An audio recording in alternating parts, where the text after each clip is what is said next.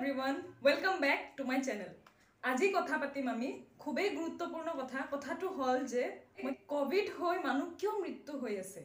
চবৰ সকলোৰে মনত প্ৰশ্ন। কিছুমান মানুহৰ কথা শুনি মোৰ হাঁহি উঠি যায়। কিছুমানে কয় ক'ভিড ইজ এ পলিটিক্স বেছিভাগ মানুহে কয় যে কোনো কৰোণা নামৰ বস্তু নাই। এইবোৰ চব ৰাজনীতি এইবোৰ চব মোদীৰ ৰাজনীতি এইবোৰ চব হিমন্ত বিশ্ব শৰ্মাৰ ৰাজনীতি চব পলিটিক্স বাট এইবোৰ ভুল ধাৰণা আপোনালোকে মনৰ পৰা আঁতৰাই দিয়ক। কাৰণ ক'ভিড সঁচাকৈ আছে। সেইটো কাৰণ যিবোৰ এইটো যে মই কোৱা কথা সেইটো কথা নহয়।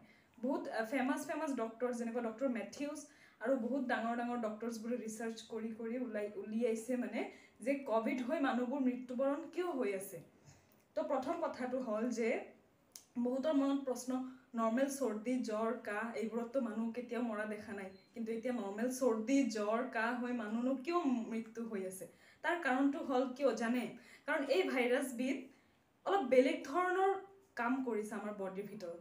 যেনেকুৱা প্ৰথম আপোনালোকে ইমেজিন কৰক ভাইৰাছটো সোমাইছে। ভাইৰাছটো কেনেকৈ কাম কৰিছে মই আপোনালোকক বুজাই দিছোঁ।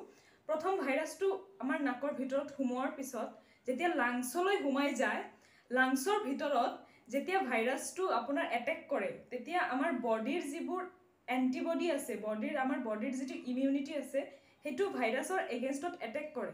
মানে ভাইৰাছক মাৰিবলৈ চেষ্টা কৰে।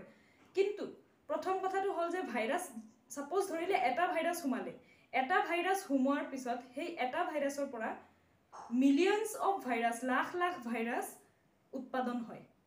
সেই বহুত যেতিয়া বহুত ধৰণৰ বহুতকেইটা ভাইৰাছ উৎপাদন হৈ গ'ল সেই ভাইৰাছখিনিক মাৰিবলৈ আমাৰ বডিৰ ইমিউনিটিৰ যিবোৰ এণ্টিবডিজ আছে সেইবোৰ গৈ ভাইৰাছক এটেক কৰে।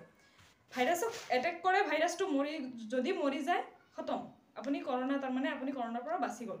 কিন্তু কিছুমান সময়ত কি হয় জানে? কিছুমান সময়ত এনেকুৱা হয় যে আমাৰ বডিৰ যিবোৰ ইমিউনিটি আছে এণ্টিবডিজ আছে সেইবোৰ গৈ কিনে ভাইৰাছক ধৰিব নোৱাৰে যে এইটো ভাইৰাছ হয়। কাৰণ এইটো ভাইৰাছৰ যিটো ছাৰ্ফেচৰ মানে ভাইৰাছৰ বাহিৰৰ যিটো আকৃতি যিটো প্ৰটিন ষ্ট্ৰাকচাৰ আছে মানে ভাইৰাছৰ বাহিৰৰ যিটো প্ৰটিন আছে সেই প্ৰটিনটো আমাৰ বডিৰ লাংছৰ ব্লাড ভেচেলৰ মানে লাংছৰ কিছুমান প্ৰটিন আছে সেইবোৰৰ নিচিনা ছেইম হয়। তাৰমানে আমাৰ বডিৰ যিখিনি ইমিউনিটিৰ কাৰণে এণ্টিবডি গৈ কিনে মানে আমাৰ বডিৰ আপোনালোকে ইমেজিন কৰক যে আমাৰ বডিৰ ভিতৰত মানুহৰ শৰীৰৰ ভিতৰত পুলিচ আছে। এনেকুৱা ইমেজিন কৰক যে পুলিচখিনি ভাইৰাছক মাৰিব গৈ আছে।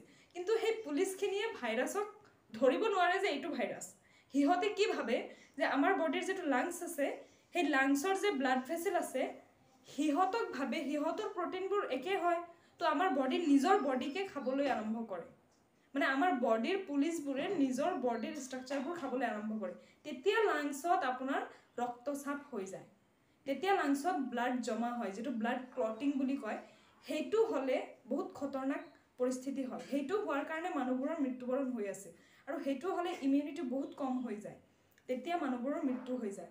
কিন্তু সেইখিনি টাইমত যদি ষ্টিৰইড দিব পৰা যায় তো যিটো ষ্টিৰইড ব্যৱহাৰ কৰি আছে বৰ্তমান যিটো আপোনালোকে শুনি আছে যে ষ্টিৰইডৰ কাৰণে ব্লেক ফাংগাছ হৈ আছে যিটো মিউকৰ মাইক'চিছ হৈ আছে তো ষ্টিৰইডটো সেইখিনি সময়তে দিব লাগিব যিখিনি সময়ত আমাৰ বডিৰ ভিতৰত মানে আমাৰ শৰীৰৰ ভিতৰত এণ্টিবডি গৈ কিনে ভাইৰাছক ধৰিব পৰা নাই। মানে নিজৰ বডিকে এটেক কৰিছে সেইখিনি সময়ত ষ্টিৰইড দিব লাগে। যদি ষ্টিৰইডটো এক ছাপ'জ ধৰিলে আজি চৰ্দি কাহ হৈছে আপোনাৰ তাৰপিছত পাঁচদিনৰ ভিতৰত যদি ষ্টিৰইডটো লয় তেতিয়া আৰু বেছি ক্ষতি হ'ব। পাঁচ ছয়দিন পিছতহে ষ্টিৰইড ল'ব লাগে। কিন্তু ষ্টিৰইড আপোনালোকে নিজে নিজে কেতিয়াও নল'ব। কাৰণ ষ্টিৰইড আৰু ইমিউনিটি কম কৰি দিয়ে তেতিয়া আপোনাৰ বহুত বেছি আৰু খতৰনাক পৰিস্থিতি হয় যেনেকুৱা ব্লেক ফাংগাছ এনেকুৱা ধৰণৰ আৰু ভাইৰাছেও বহুত বেছি এটেক কৰি দিব। যদি ষ্টিৰইডটো আপোনালোকে ডক্টৰৰ পৰামৰ্শ মতে ইউজ নকৰে। চ' নিজে নিজে আপোনালোকে মেডিচিন নিজে নিজে কাৰো পৰামৰ্শ নোলোৱাকৈ ডক্টৰৰ পৰামৰ্শ নোলোৱাকৈ ঘৰতে মেডিচিন নল'ব। আৰু যিমান পাৰে সাৱধানে থাকক যাতে কৰোণা নহয়। কৰোণা নহ নহ'লে ভাল মানে।